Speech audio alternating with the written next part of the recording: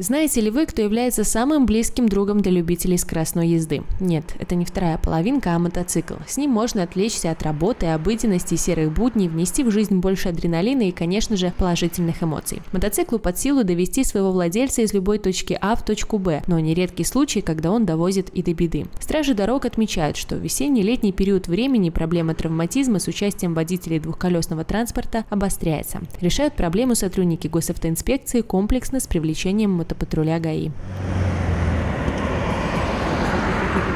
Они мобильнее и в случае неповиновения любителей скорости и острых ощущений могут с легкостью нагнать правонарушителя. Период времени с 28 июня по 7 июля на территории города Бреста и Брестской области проходят рейдовые мероприятия «Колес меньше, опасности больше». Направлено данное мероприятие на усиление контроля за соблюдением правил дорожного движения водителями мототранспорта. Дело в том, что с начала текущего года с данной категории участников дорожного движения зарегистрировано 15 ДТП, в результате которых которых 3 человека погибли и 13 получили травмы различной степени тяжести. В 11 случаях виновниками дорожных аварий явились сами мотоциклисты. Превышение скоростного режима, необдуманные маневры, нарушение сплошных линий разметки, неиспользование защитной экипировки, а также игнорирование сигналов светофора – основные правонарушения мотоциклистов. Правда, к Артуру Апанасенко, водителю с 20-летним стажем, ни один из вышеперечисленных пунктов не относится. Мужчина с юных лет уверенно ездил сначала на старом отцовском мопеде, а со временем пересел на более комфортный мотоцикл. Этот уже у меня на протяжении пяти лет.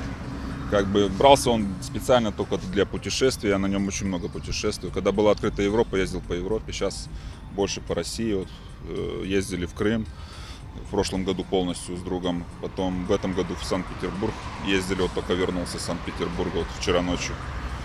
Как бы видно, что он залеплен, залеплен. Когда управляешь за ним, ну, этим мотоциклом, то как вам сказать, мысли освобождаются. Нет других мыслей, только вот дорога и концентрация на внимании, чтобы безопасно доехать домой.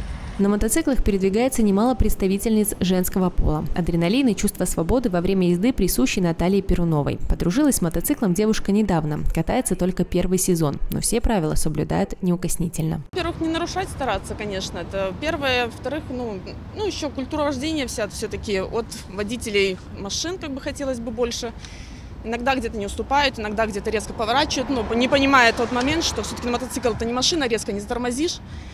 И, ну, соблюдать все-таки правила, стараться экипировку действительно какую-то одевать, потому что это важно, это, на этом не стоит экономить.